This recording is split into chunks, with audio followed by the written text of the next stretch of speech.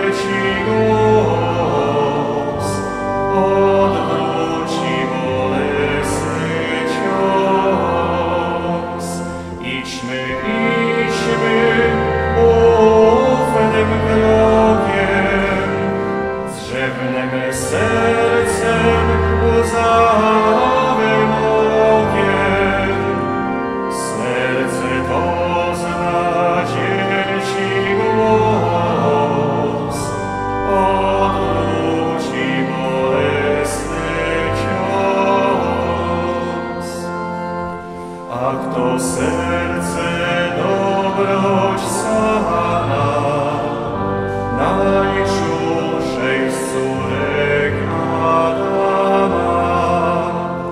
Jest otwarte w każdy czas, samo szuka wzywa nas.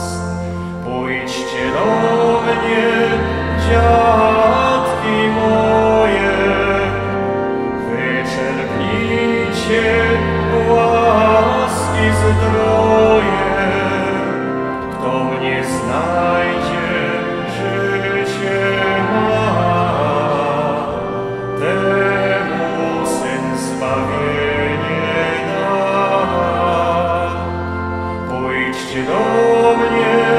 świadki moje, wyczerpnijcie łaski zdroje, kto nie znajdzie życie ma,